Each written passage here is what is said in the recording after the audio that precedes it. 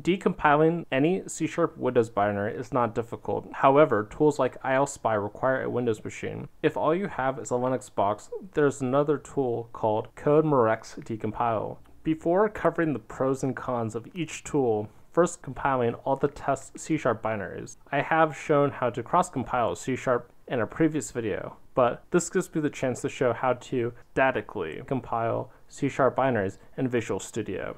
But before that, I'm going to first cross-compile the first two test binaries on our Linux machine, which is just the same as in Visual Studio, just this TCP reverse shell. So if we do head with the first 20 lines, TCP, we can see it's the exact same program.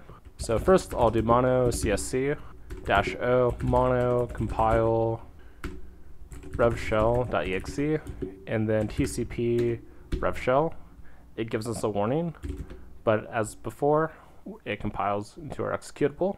The next way I will do it is with .NET. So I will make a new project, .NET RevShell, just to stay organized, and then do .NET new console.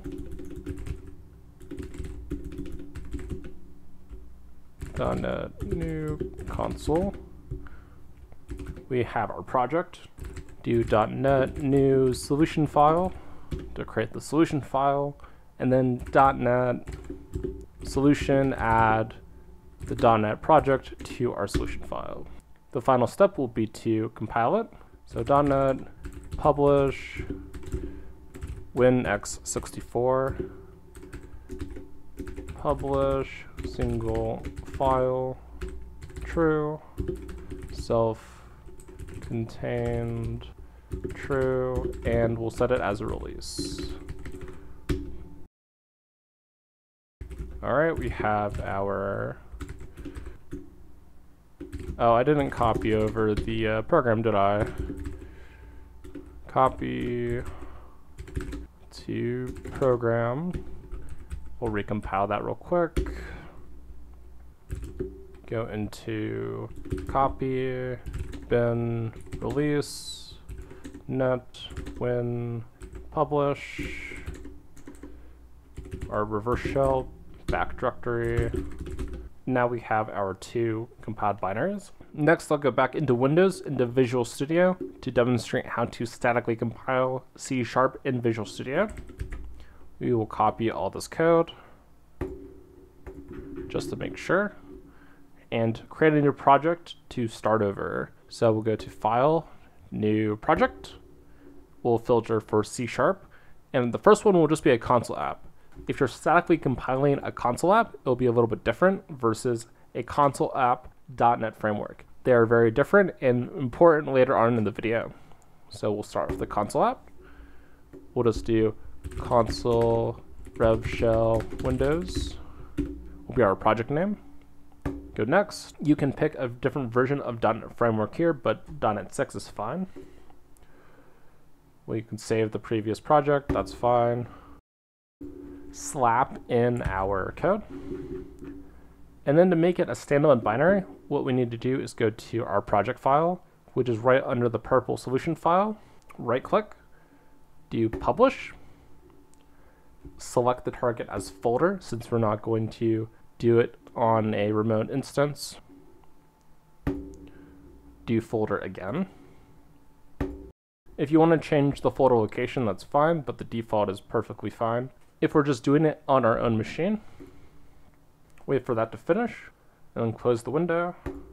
Now to create it as a standalone binary, we do show all settings, deployment mode from framework dependent to self-contained. We set the target runtime to our architecture, which in this case will be Windows x86. And then the last step is to go under the file publish option and check mark the produce a single file.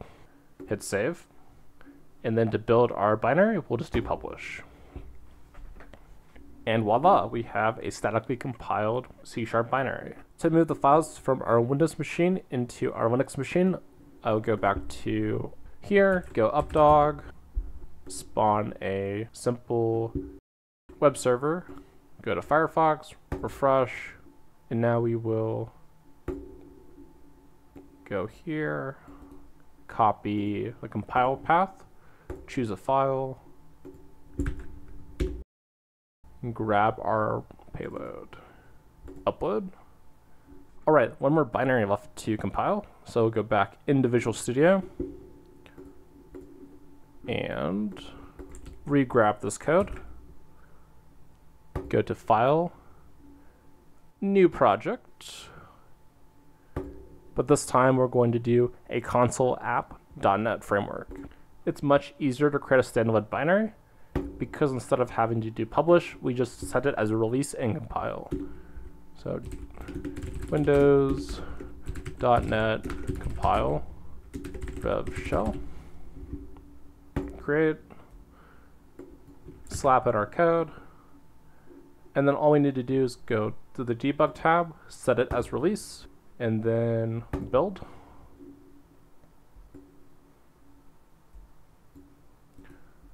Copy the path,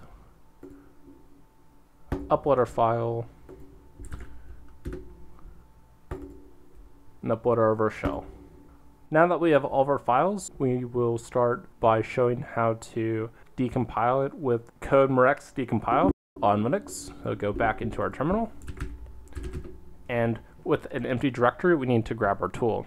If you don't have it on your system, first going to their GitHub page, going to release, and grabbing the Linux tar gzip or whatever version you need for your operating system. In this case, we just need the Linux one, so we do copy link address, go back to our terminal, and we just do wget, and then the path of the web resource, zoom in a little bit. Now that we have this, now we will extract Z for gunzip and then F for file code. And then the reason why we do it in its own directory is that when we decompile, does that not look right? Contents? Ah, uh, did I grab the wrong one? Ah, I grabbed the wrong one. Okay. Let's grab the right one wget the Linux one, tar extract gunzip file. And now the reason why we put it in its own directory is because we have all these files. But what we need is just code morex decompiled this executable that's already chmoded for us.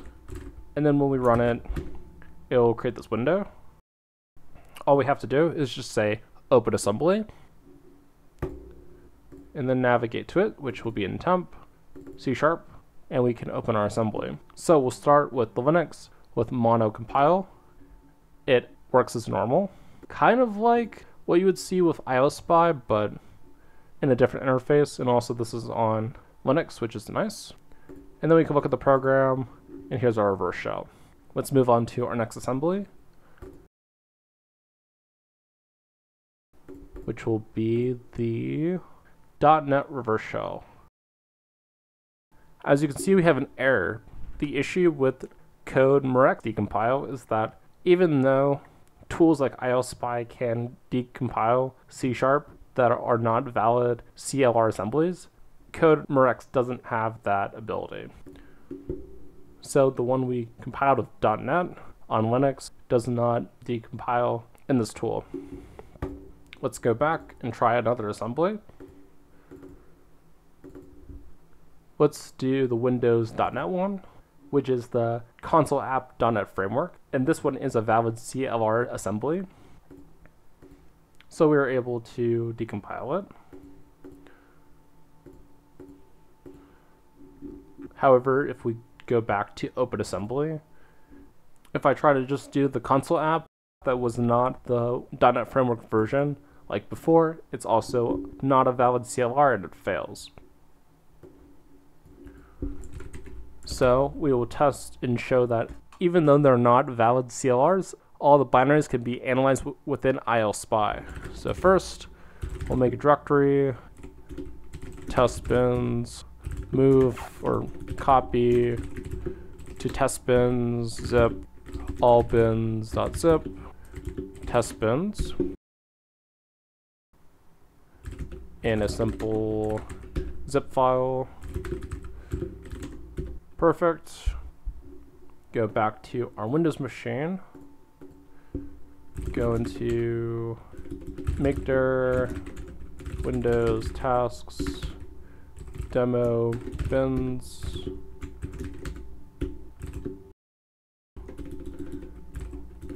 Makedir,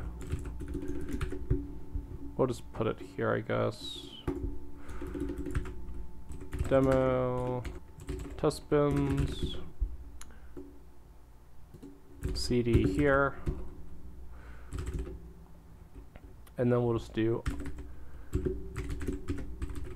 wget our zip file from the updog web server.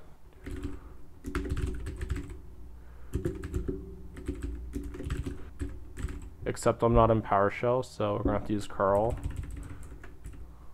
Curl. And then to open this up in Explorer without trying to navigate to it, we can just do Explorer and then dot, which will open it in this directory, which is a kind of a neat trick. Let's see, extract all. All right, we have all of our binaries. Now we can do copy this path, go into ILSpy, do open, go over here, and for the binaries that were not able to be decompiled because they were not valid CLRs, which is the Windows.NET compile and the console uh, rev shell windows, it still works because ILSpy is based. I will run through ILSpy with each of the other three files. So, like before, open .NET Rev Shell. It decompiles without any issue. File, open, mono compile. It still works. File, open, Windows, .NET Compile Rev Shell, and all of them open just perfectly fine. And that concludes this video. Thank you for watching, and shout out to Pebble for showing off this tool originally during their live stream on Twitch. I hope to see you in the next one, and take care.